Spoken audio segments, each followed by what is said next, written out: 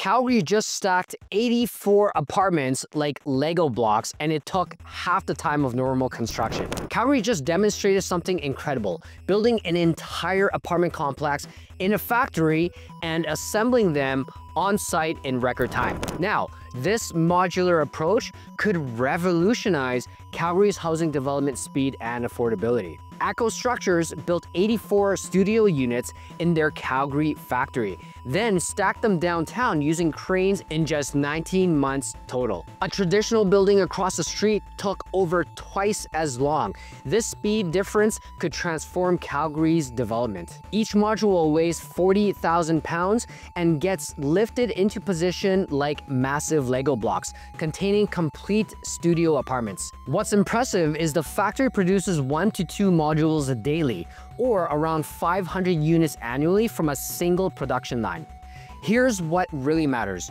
Rents at $1,100 including utilities beat Calgary's average studio rent of 1,433.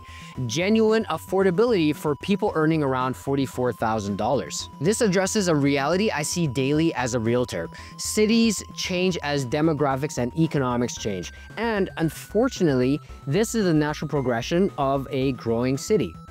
People complain about density and development, but Calgary needs 130,000 new housing units by 2030 just to meet demand from all the people moving here. Prime Minister Carney wants modular housing to help double home construction to 500,000 units annually nationwide. It's not gonna happen. Alberta could top Ontario in new home construction for the first time in 40 years, building nearly 60,000 homes by 2025. I believe this addresses Calgary's two biggest challenges, construction speed and housing people can actually afford, while reducing the lengthy approval processes that slow everything down. Want to see how modular construction affects Calgary's housing future?